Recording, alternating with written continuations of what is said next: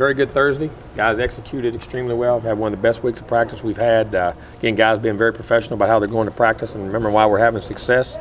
Uh, have done a great job, and hopefully, again, like I say, we can carry it over to the field on Saturday. The guys have done a good job of that, and we'll have to continue to see, and uh, hope we'll play another good ball game. But I really like the week of practice, and really like today. Guys were locked in and focused and practiced well. And we're sharp in the meetings. Question? Uh, you finished out healthy.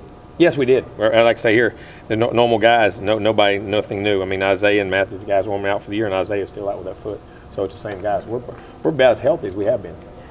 This is the second straight week of Deshaun Maguire, you know, being the primary backup. How have you seen him grow in Austin? I really like this two-minute offense, the things he's doing in practice, consistency. I mean, made some really nice throws today. A couple times when I look back, I said, man, who was that throwing? it? Was that Jameis or was that him? I mean, just throwing the ball and understanding where to go with it, blitz pickups and reads. Again, he's been getting reps all year, but just going out there and executing it. I'm going to tell you now, Sean can throw that football. He's got a very good arm. He moves around very well. Are you planning to give him any more reps for the first team? I know you gave him some last No, game as well. it'll be just the same. I mean, we'll, go- we got to play each game by year. I mean, if, if we're playing well and we're ahead, we may try to do some things like that. If not, we got to, you know, we got to win the ball game. We got to do what we got to do. How confident are you that if anything would happen to Jameson injury-wise, that Sean could come in and win win a game for you? I, I feel comfortable. I mean, I do. I mean, until you have to go out there and do it, you have to do it. But I've been the way he's practiced and the way he's prepared and the ability he has and the guys we have around him. I feel very confident. What's your policy normally with a, with a second string quarterback? Does he ever get work with the first team in practice? How, Yeah, we do at times. We do different drills off and on and mm-hmm. different things. But once we get established, we usually don't. I mean, because we keep that rhythm.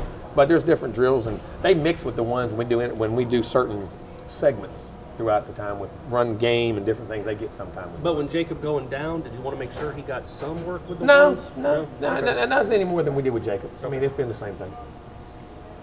in a game like this where you might get up big, does that give you an opportunity to work on some stuff there? There we go. Yeah, not, knock on homeboy. wood. No, what- Uh, does it give you a chance to work on some things that um, you just like to see more? Well, no, I just think you, you got to go out and execute. You got to do what you do. At this time of the year, there's no tricks left. I mean, you know, you do. You're who you are, what you are. Your team's taking its personality, and you got to do and continue to execute the things you do. And we'll do what we do. Is it sunk in this is going to be the last home game of a bunch of these You know, it seniors? is very sad. It is for me. and It is kind of just sinking in. I mean, that group was that group is so special. There's so many characters. Is not the word. I don't mean it that way. Just influential guys in our program's history and what it meant and, and where they've let us get to and how they've influenced the other guys in the, in the organization. And, I mean, there's some there's some guys I'll never forget out of this senior class. There's that's a, this is a tremendous tremendous group. Does it maybe feel a little different this year because it is your first four-year group?